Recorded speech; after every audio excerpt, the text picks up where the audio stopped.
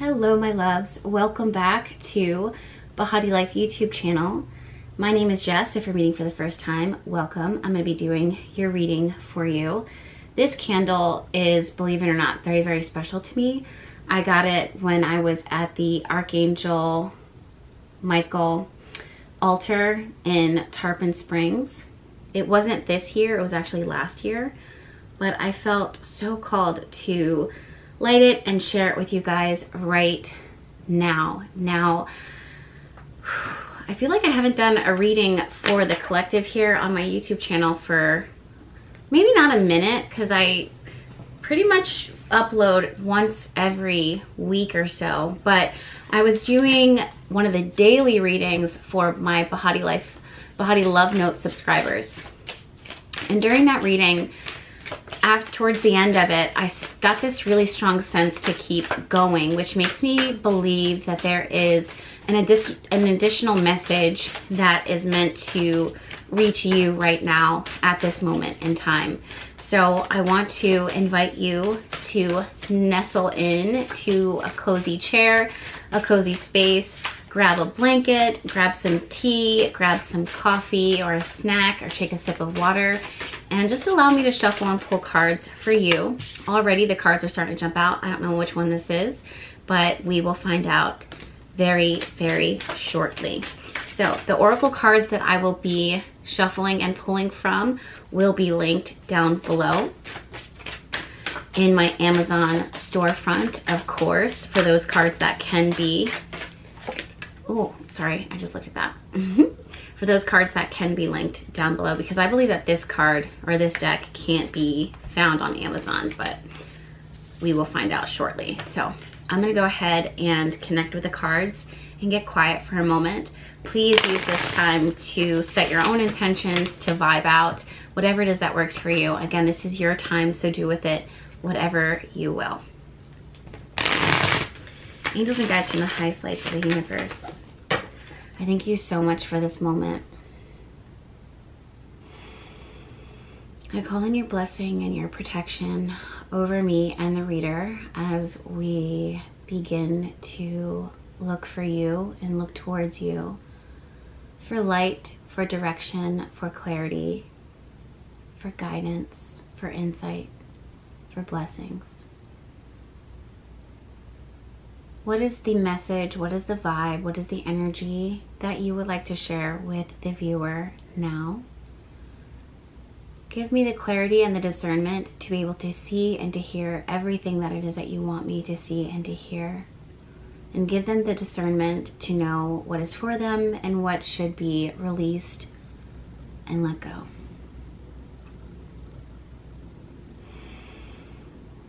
Beautiful angels and guides, I thank you again, and I ask that you protect me. I ask for your blessing. I ask for your peace. I ask for the divine's grace.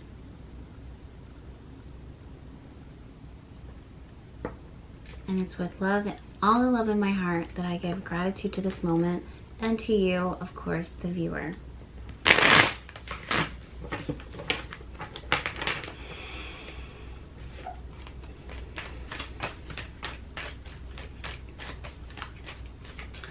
Interesting because I'm feeling a lot right now. And then I'm also, not only am I feeling the intensities of this feeling, which I haven't felt this yet, so because I've never had this feeling, I, it's hard for me to put it into words. So that's number one. But number two, there's the other side of me Jess, the Jess who's not channeling right now, who almost wants to laugh because the the Jess who is channeling saw a vision of mashed potatoes or like a potato. oh my gosh. And I, I just now I heard the word outrageous. And spirit is referring to our experience here on earth is specifically outrageous. Like it's just so wild sometimes. And as I'm saying that, the fact that I'm smiling is the energy that our angels and our guides want us to have as we're going through life. Whatever it is that we're facing, try to face it with a sense of humor, even if it's heavy or hard to hold, or even if you don't know what's next, or even if you have these goals and these ambition or things that is that you want to do, you want to achieve, you want to accomplish try to laugh at the outrageousness of life as much as you can. Probably not in every single moment, but try to incorporate the ability to look at life and the moments to come through a lens of humor. When it comes to the potato, this for me represents simplicity in life and how simplicity can be divinely nourishing for our spirit and our energy and the vibe. I also heard for someone that you are not your accomplishments. I also heard, interesting, I heard the word ideal image and I know that to be a like a laser hair removal studio, but so I don't know if that's something specific for someone, but I'm also hearing it and seeing it as this hyper focus on who or what you could be or what you should be. This energy of like expectancy and spirit wants to kind of discard that and push that away. That's not real. It's actually harmful to you. Spirit is inviting you or someone to revisit the simple life. I'm also seeing um, someone like gathering herbs from a farmer's market or growing your own herbs. The benefit of growing your own little things, like even if it's like basil and on a windowsill and how beneficial that is. It, there's something about having something as simple as a basil plant growing on your windowsill, which talks to the universe and talks to the divine and talks to Mother Earth and talks to the earth elements, the earth energies that reminds you that you're a part of this greater all of this like all this greater life that's happening that you are that you're vibing with this life. Like you have I've sometimes when we're so having these like cerebral moments, like we're so stuck in our heads and our thoughts, it can be so tough sometimes to see things through the lens of spirit is saying that of a ladybug. It's about simplifying your experiences and simplifying your life down so that you can see things for what they truly are instead of hoarding in your energy, even though you don't realize you're hoarding in your energy, baggage, expectations, and you're you might be doing damage to your your your physical, mental, emotional, and spiritual bodies because of what you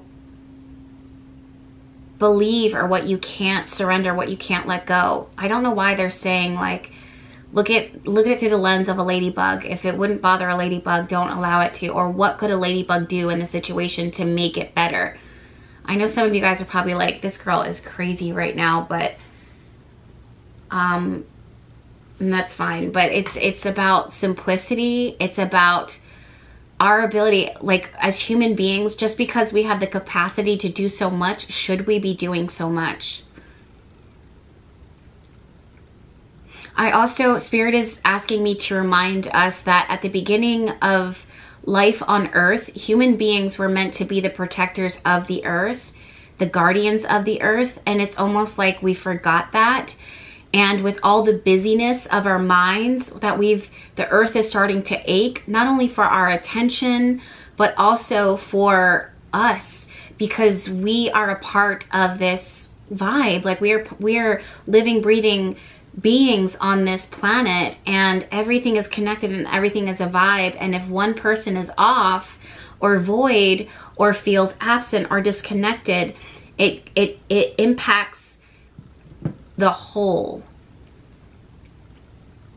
So spirit is referring to how simple and beautiful and abundantly provided for you will feel at the simple act of choosing an herb, an herb plant, and tending to it, caring for it, and also incorporating that herb into your food. So think about if you are taking care of this herb plant and you're watering it and you're talking to it and it's sitting on the windowsill and it's watching these cycles and moments of your life kind of passing by but you you you you're giving it all this life and energy and at some point it's time for you to pick said herb right it's time for you to pick the herb and then begin to put it in your food and put it in your meals and the slow savoring of that moment where you can sniff the herb and vibe with the plant's essence it helps to ground you and connect you and all of what you gave to it, it's giving back to you. And that's exactly how spirit wants everything in your life to be.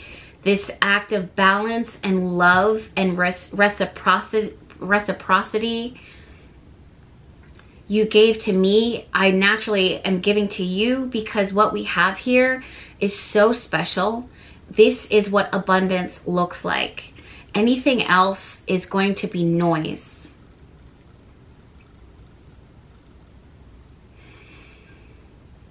I want to talk to you guys. I just saw the chariot card. I was looked down at the very beginning and as I closed my eyes and took a deep breath just now, I started to see the chariot card once again. So spirit wants to talk to you about the path. There's other cards here. I haven't looked at them. I'm going to push them off to the side. Spirit wants to talk to you about the path.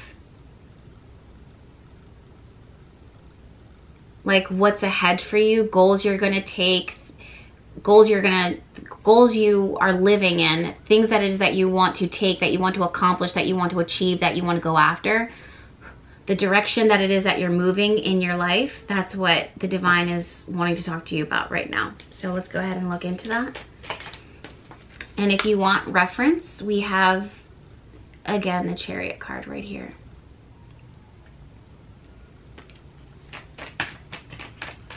Well these cards definitely want to come out. Interesting. So these two cards, either I didn't shuffle well or this is synchronistic in that they're jumping out again. If I didn't shuffle well, it's okay. Um, because the this message was also really important and powerful from Behati Love Notes. Basically, it's for those of you guys that don't know, Behati Love Notes is where I shuffle and pull cards for the collective every day.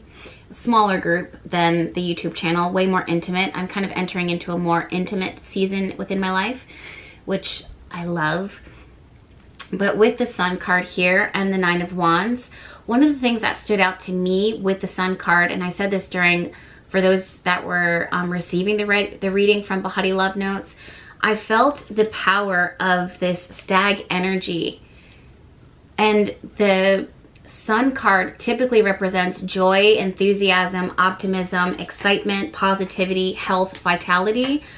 But in this card, it's so interesting to me how very strong and focused and balanced and grounded this energy is.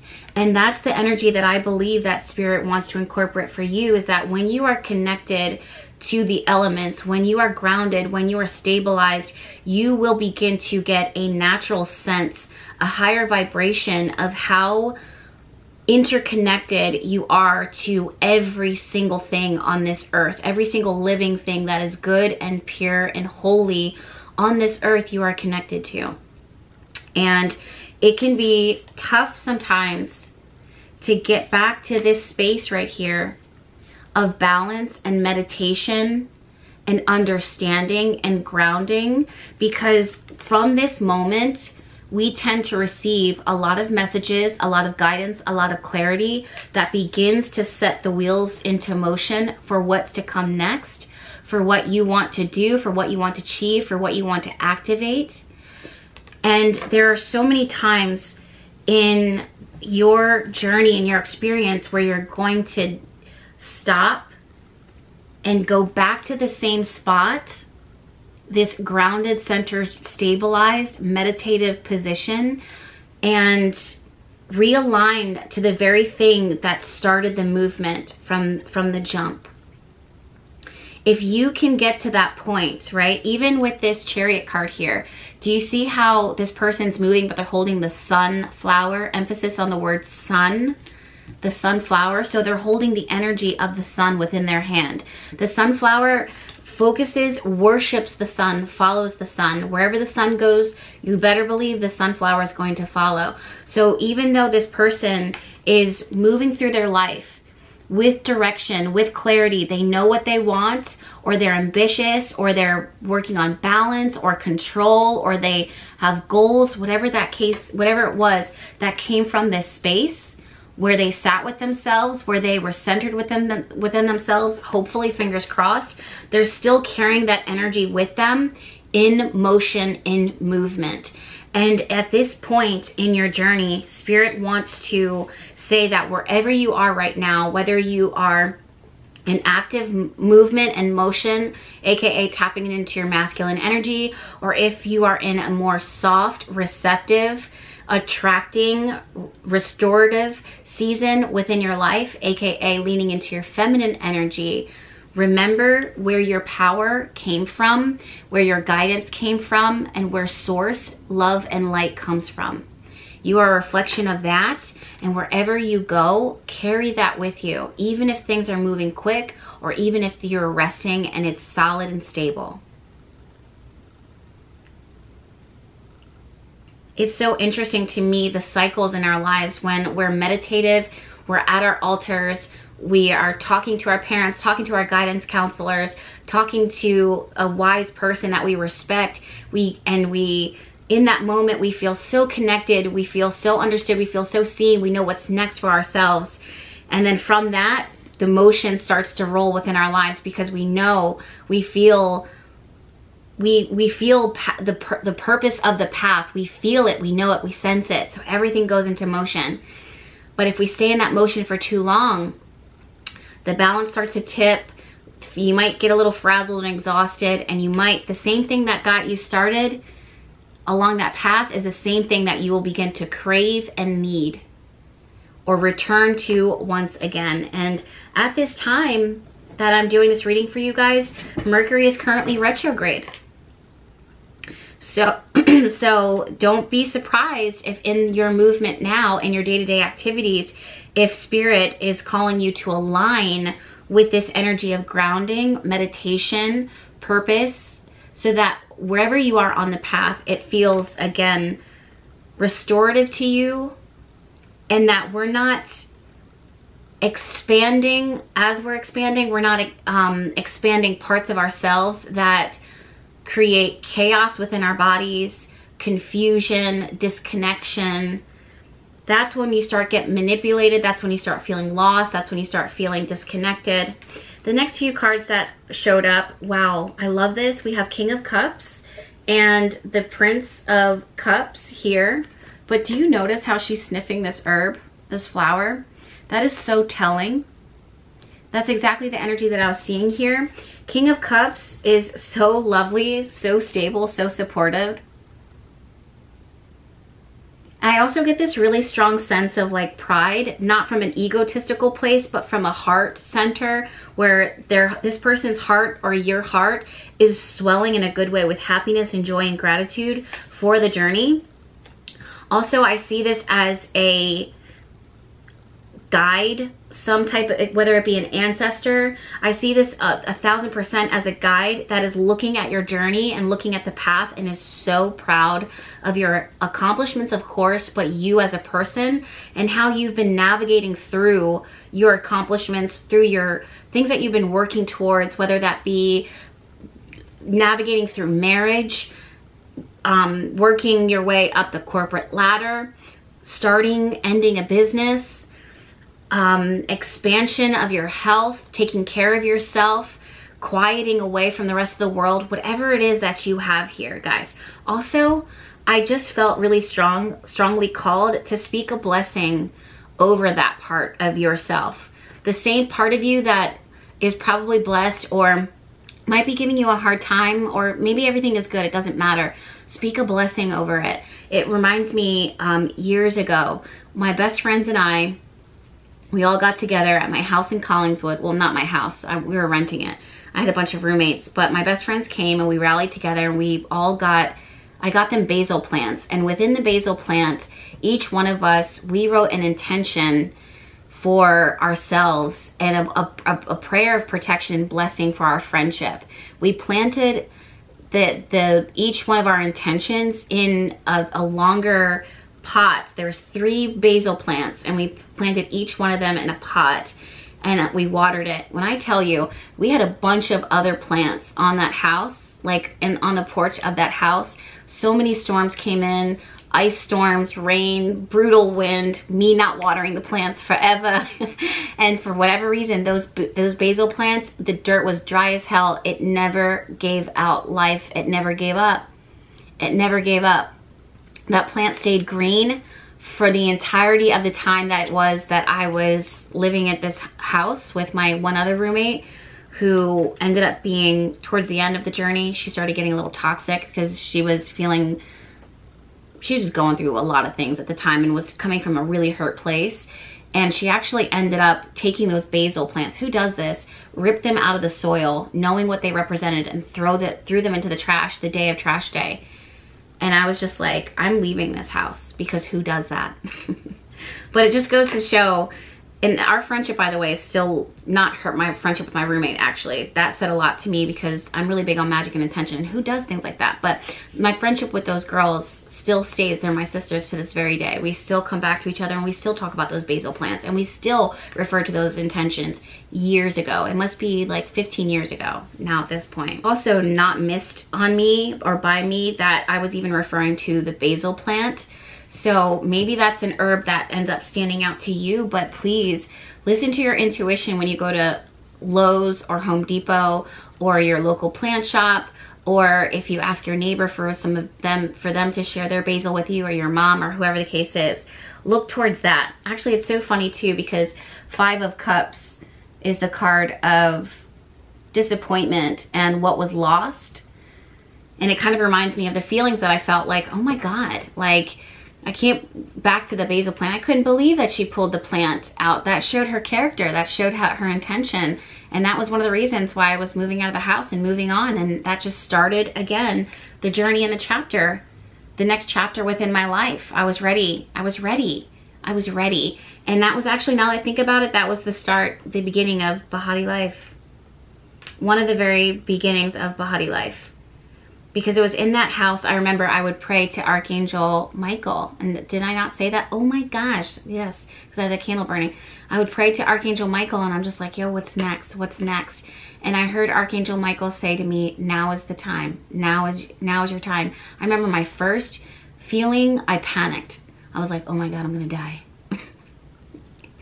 you don't sit in your room under the light of a full moon, probably an eclipse, I wouldn't be surprised if it was a tor if it was a Scorpio lunar eclipse, similar to the one that is that we are creeping up on now.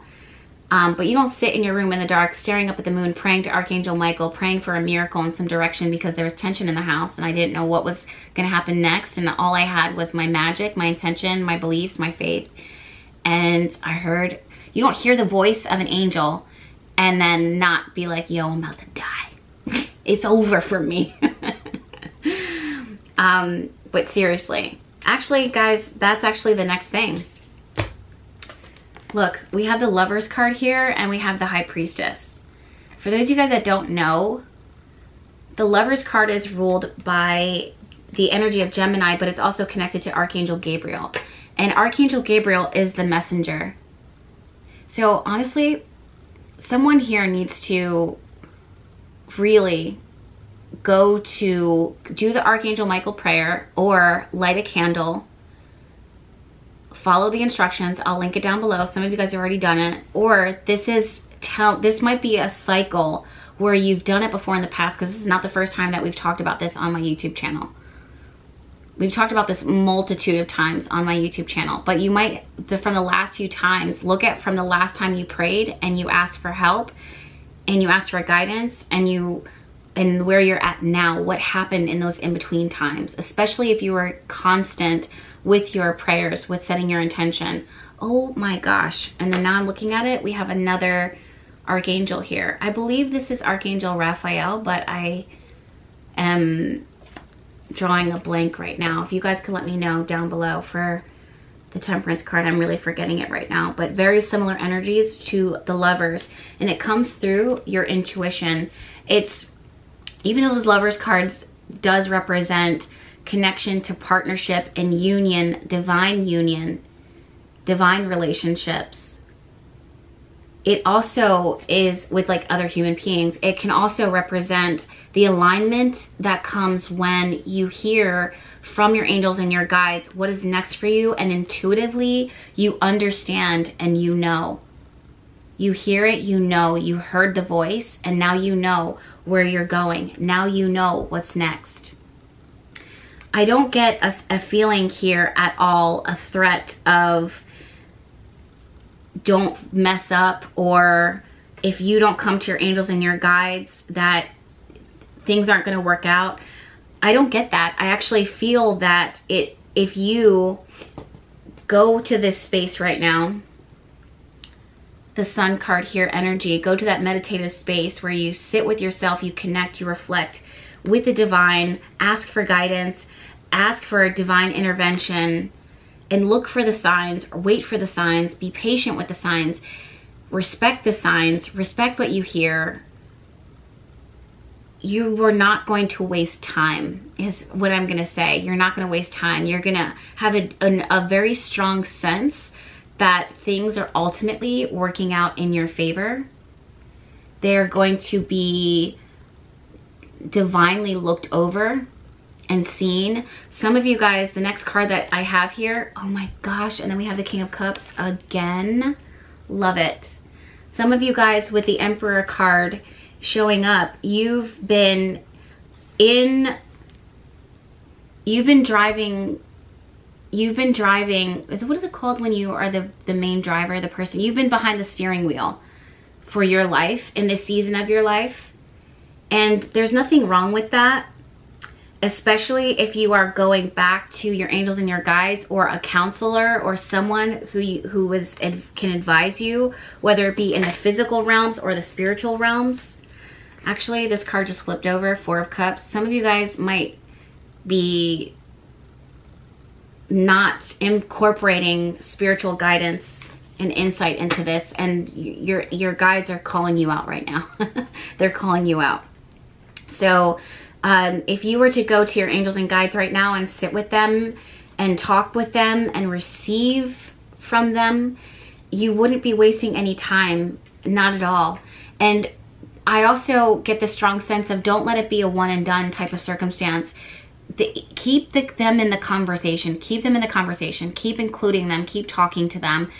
I know that for many of you guys, you're like me where the full moons, new moons are very significant times. Eclipses bring a lot of fear, but some of you guys do set intention or pray or go to your altar. But I'm, I want to say, don't let those be the only times when you go to your altar. Don't let that be the only time when you pray. Don't let that be the only time when you meditate. Don't let that be the only time when you go for that walk along the beach. Let this be a constant relationship, an intimate relationship that it is that you have with your higher self, the divine, your angels and your guides, your ancestors, Archangel Michael, Archangel Gabriel, whoever, whoever. Whatever floats your boat or finds your lost remote. All right, so now let's look at our oracle cards. I don't know why I heard, ooh, I'm shaking. okay, High John the Conqueror, Power and Command. Very powerful card, but with power comes great responsibility. And with power and responsibility, it is very essential. It is vital that you consult the greats, aka the divine, your angels, your guides, your ancestors, whoever, okay? Make sure that when you are conjuring, when you are commanding your ship, when you are moving forward with life, when you are entering into the next chapter, the next stage, the next cycle within your life, that it is being led by this sunflower, AKA the part of you that was divinely lit up by divine intervention or the call, the voice of an angel, your guides, your higher self, your heart, or, or a wiser person that is has genuinely has your best interest at heart. Wow. The next card we have here is maturity and experience. So there is a very strong, um, there's a strong message about recognizing your path thus far. I don't feel like this is a new journey or new chapter. I also felt that when I was shuffling the cards for Behati Love Notes. Should I keep it at $5 by the way, guys? Oh my God, that's a question I should bring to my guides.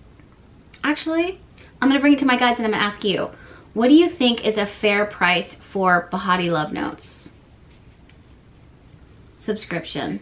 It's at $5 right now, but daily readings every day, I've been considering so actually, yeah. Random. Random. What do you guys think is a fair price?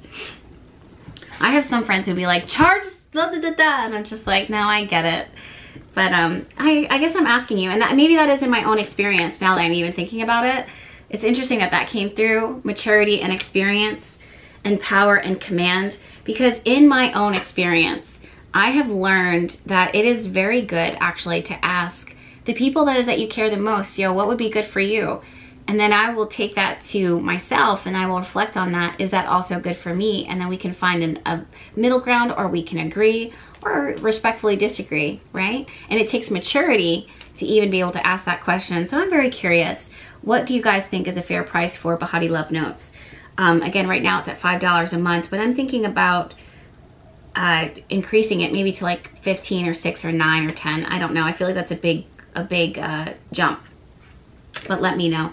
Okay, next card we have here is butter beans. Yeah, wow, counting and time cycles. Very, very interesting. What is it that you have with this? Let me show you to you before I start shuffling. Spirit, what is the message that when you say counting and time cycles, I actually don't feel like it's a positive thing. Yeah. Wow. So we have four of pentacles and we have two of wands. So this is the person that almost is comparing and is all like think of the four of pentacles too as someone who com who hoards their coin and counts their coin and every night they go to bed and if there's a missing if there's a missing bean or a missing penny or a missing coin they go ape shit ape they go wild so spirit right now is saying be very careful and very mindful about comparison.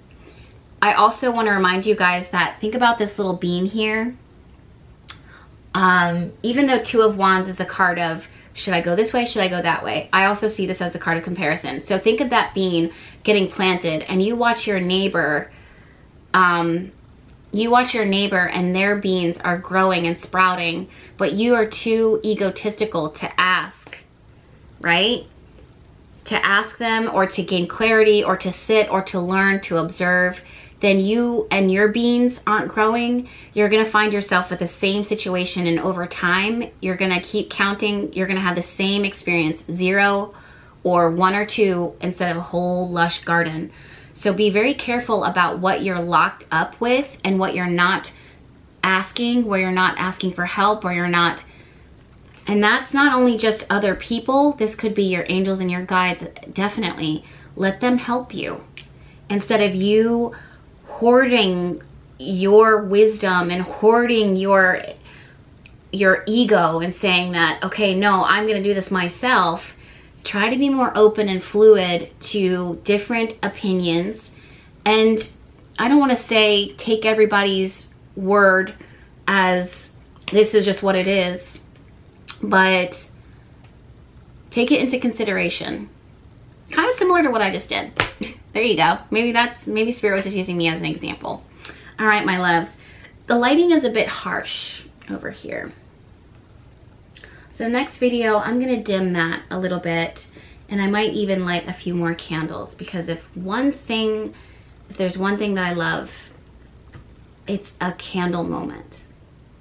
I like exaggerated Leo sun, Leo moon candle moment, even though I am Virgo sun, Virgo moon, Virgo Mars. If anything, that part of me will be like, oh, let's be careful with the flames. Leo moon, Leo sun will be like, let's light it all on fire. And like these luxury candles. Me personally, I'd be like, mm, let's save this for a special occasion. And that special occasion comes and goes and I won't even light that candle. So it never gets burnt. So like, what's the point? Um, basically what I'm trying to say, trying to maintain my level of professionalism, which what is that even? Because it's my YouTube channel, my rules, my world. And this is our family. It's our little vibe here. Um, but yeah, next time I think I'm gonna dim this light because it's not distracting, but it's pretty intense. And it's making my skin look like it's not as smooth as it actually is. I've, I've been working, I'm, you know me guys, I stay up on my skincare definitely stay up on my skincare. So I'm sending you guys my love, my light, and all of my gratitude. So much gratitude for the fact that we were able to take this time together. It did feel really good. So thank you. Of course, if you would like to join Behati Love Notes, you can do that. It is so nice to be able to sit down and shuffle with you guys usually in the morning. We're just sitting down having our coffee, we're vibing, we're setting the tone for the day. Some of you guys watch it as soon as the reading gets uploaded. And some of you guys wait a little longer or the next day. It doesn't matter. All of those readings stay up for you. Right now, currently, the, the rate is at $5 a month for uh, 28 to 31 readings on average, pretty much. Maybe 27 because I do sometimes take a day off just to vibe or, you know, live so let me know again if you what you think about the rates and I definitely want to invite you to subscribe to that and to hang out. But in the meantime, you guys, I'm gonna go ahead and move along, get those readings up for you guys, and I will see you definitely for sure in my next video. Okay? Talk to you later.